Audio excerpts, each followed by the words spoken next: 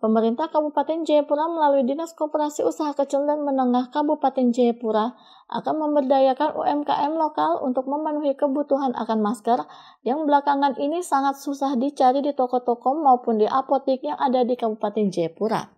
Kepala Dinas Koperasi Usaha Kecil dan Menengah Kabupaten Jayapura, Parson Horota mengatakan, Sesuai arahan Bupati Jayapura bahwa Dinas Koperasi Usaha Kecil dan Menengah Kabupaten Jayapura akan memberikan bantuan dana kepada UMKM di Kabupaten Jayapura yang terdampak akibat virus corona. Untuk UMKM yang mendapatkan bantuan dana tersebut, UMKM yang mempunyai keahlian menjahit agar dapat membantu pemerintah daerah untuk membuat masker guna memenuhi kebutuhan masker di Kabupaten Jayapura yang belakangan ini sangat langka dicari.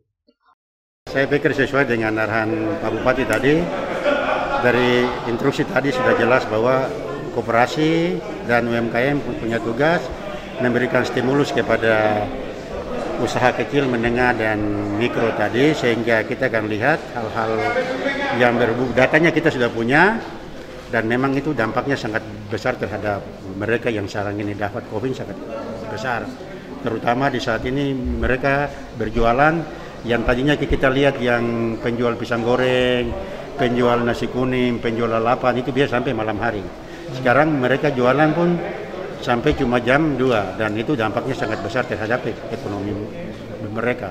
Sehingga dari data-data itu kita akan data lalu kita kirim ke tim gugus tugas lalu kita lihat kira-kira bantuan stimulannya bagaimana yang harus kita buat. Tetapi di sisi lain sesuai dengan arahan Pak Bupati tadi, mungkin kita bisa mengajak mereka-mereka yang bisa melakukan punya skill, yang bisa jahit masker, bisa jahit barang-barang lain, yang berhubungan dengan penggunaan APD tadi kita bisa minta bantu untuk mereka jahit, lalu kita memberikan stimulan untuk jahit-jahitannya mereka. Untuk kita bisa distribusikan untuk digunakan oleh untuk dana yang diberikan kepada UMKM untuk pembuatan masker tersebut berkisar antara 10 juta rupiah sampai dengan 15 juta rupiah setiap UMKM.